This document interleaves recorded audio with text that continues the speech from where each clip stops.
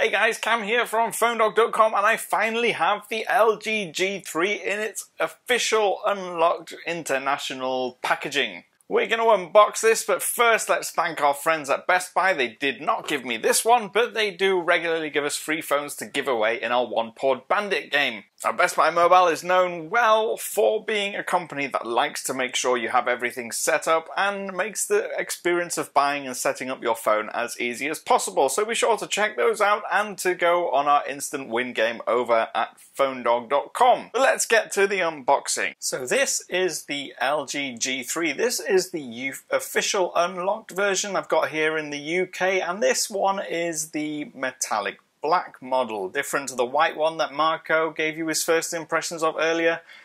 And the unboxing's kind of being done in the wrong order, but we thought we'd give you this anyway, show you what comes in the packaging. Now, obviously on the front you have the device actually sitting front and center, and it is LG's latest device. Now we're going to take that out and just pop it to one side, but it is a really nice slim phone with a pretty good feel in hand, at least on first impressions. Actually, something that pleased me when I checked it out in the event in London.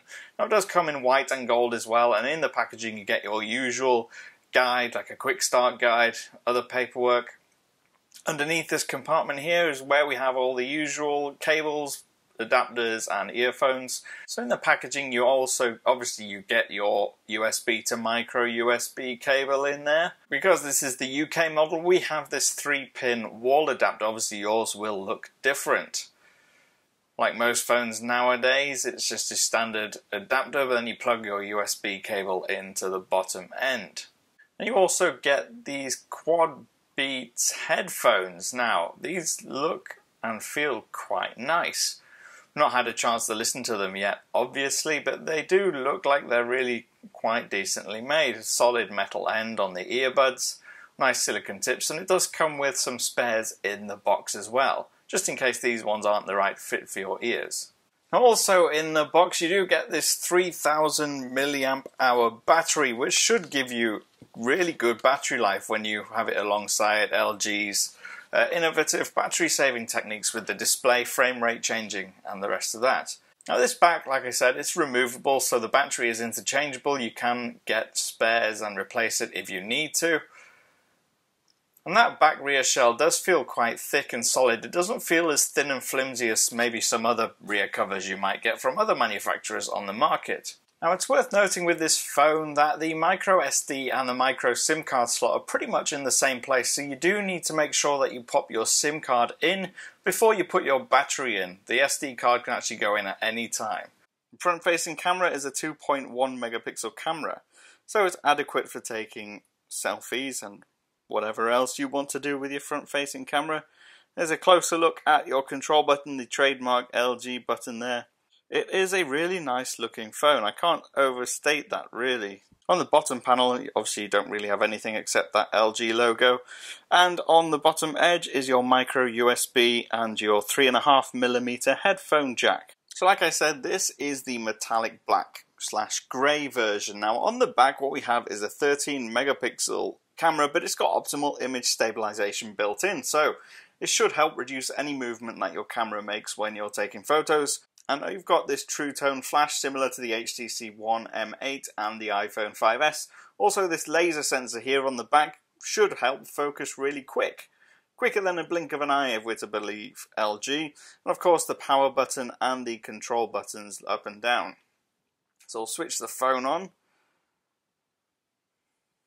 Now what you see on the front here is the phone with the first Quad HD display. It's a 5.5 inch 2560 by 1440, giving it a pixel density of 538 pixels per inch. Now, just so you can have a size comparison, I have the HTC One Desire 816 here, which also has a 5.5 inch display. And you can see LG's done a really good job of trimming away all the fat. They've done really well at trimming out any of the bezels and too much frame, too much plastic going on. Obviously the HTC does have stereo front-facing speakers which makes up a lot of the room, but it does feel like a much smaller and lighter phone than this. To bring in a direct competitor, this is the Sony Xperia Z2.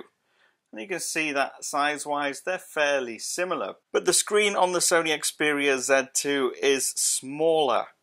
It's only 5.2 inches, so you've got 0.3 of an inch extra screen in a frame that's pretty much the same size, perhaps a little bit wider. Now, on the LG, you'll notice that the back is very nicely curved, which means that the edges feel really slim in hand and also makes the phone feel comfortable in general and it is light as well. It feels sturdy, it feels light, it feels comfortable. And in my opinion, I think this metallic metal or metallic black version does look a little bit classier than the white plasticky looking model. But that's just my own personal preference, and the screen does look fantastic. It does come loaded with a Snapdragon 801 2.5 gigahertz processor, so everything should be fast and fluid. I'll get a better sense as I use this day to day.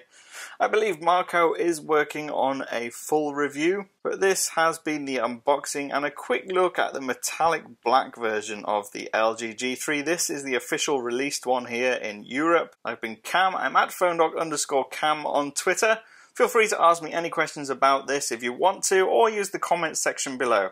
I will see you again soon.